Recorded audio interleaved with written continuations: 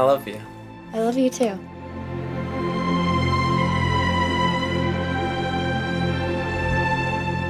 He's completely shutting me out of his life.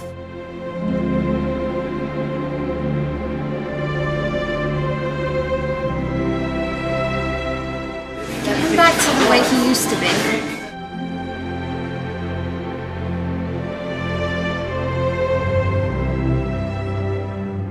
She confided in me, Matt. Me! She told me how you constantly ignored her, constantly blew her off.